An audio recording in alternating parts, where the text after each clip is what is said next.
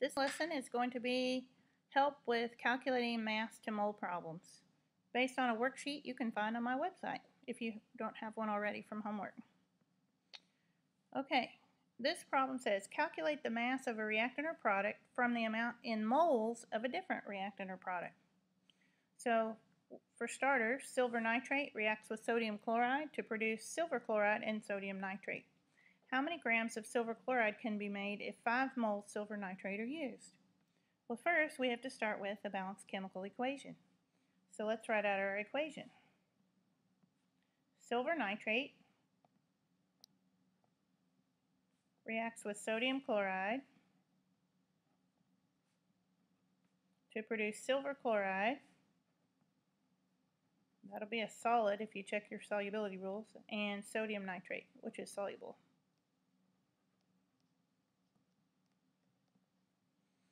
And these would be also soluble. Not real important when you're doing stoichiometry problems necessarily. Is the equation balanced? One silver, one silver, one nitrate, one nitrate, one sodium, one sodium, one chlorine, one chlorine. Hey, this is really easy math because all of these are going to be one-to-one -one mole ratios. All right, let's look at problem, yeah, and B is a different problem. So let's try, uh, what I like to do is write the givens and the find up above the balanced equation. This says how many grams of silver chloride, so I'm going to put question mark and G for grams, if 5 moles of silver nitrate are used. So I know this is my given and this is my find. So you always start with given over 1. So 5.00 moles AgNO3 over 1. I'm trying to get to grams of silver chloride, but before I can do grams, I have to get rid of moles. And the only way I can do that is a mole to mole ratio. So let's do just the words first and we'll figure out the numbers later. So the words are moles of AgNO3 on the bottom, moles of AgCl on top. Mole ratio is 1 to 1 because the coefficients are 1 and 1. That gets me a little closer because moles cancel out. That gives me moles of silver chloride. So moles of silver chloride goes on the bottom. And this time I'm looking for grams of silver chloride. So I have to put that on top.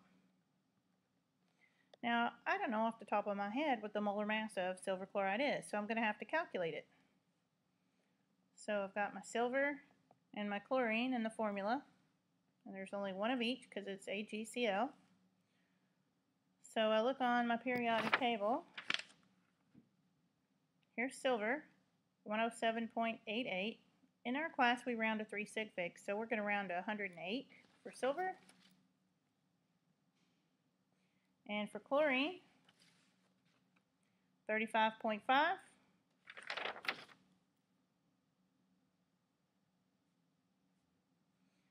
One oh eight, thirty-five point five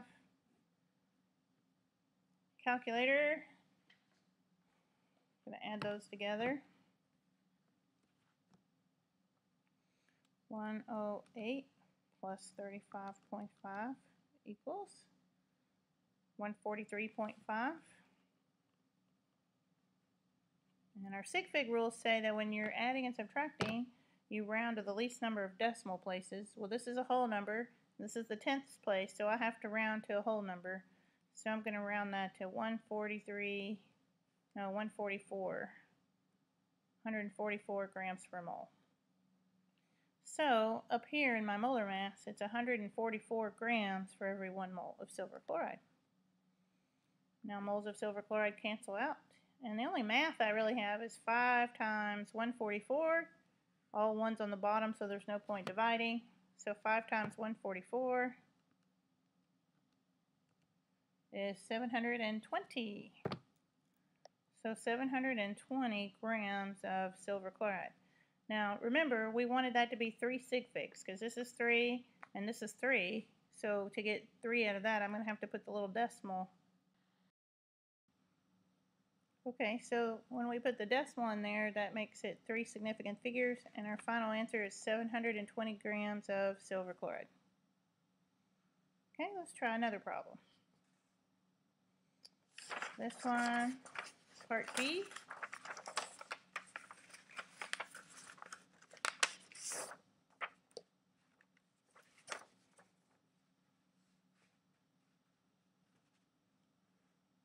Hydrogen peroxide, H2O2, decomposes to form oxygen gas and water. How many grams of oxygen are released if 25 moles of hydrogen peroxide are used? Well, start with our reaction. Hydrogen peroxide is H2O2. It decomposes to form oxygen gas and water, which would be a liquid at room temperature. Is this equation balanced? No. We have one, two oxygens here plus one more, that makes three. We have two on this side, so whatever number of oxygen I have is going to have to be an even number. So let's try, if I double this, that makes four oxygens because two here plus two more here. And I can get four on this side with a two in front. Then that makes four hydrogens, and here's four hydrogens. So now it's balanced. Okay, let's reread the question again. How many grams of oxygen? So I'm looking for right here, grams of O2 are released if 25 moles of hydrogen peroxide are used.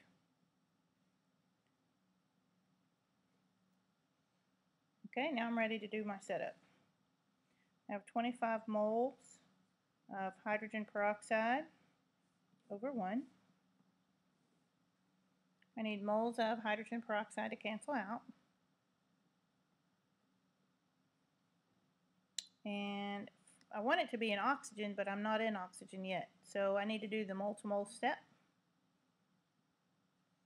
And the ratio is 2 for H2O2 and 1 for O2. Now my moles of hydrogen peroxide will cancel. I have 1 mole of O2 on the top. So let's do moles of O2 on the bottom because I'm trying to get it into grams. So grams of O2 on the top. Then remember the formula is O times 2. The mass of one oxygen off the periodic table is 16 times 2 is 32 grams per mole. So now I'm ready to do the math. The math is 25 times 32 divided by 2. Stick that in our calculators. And let's see what we get.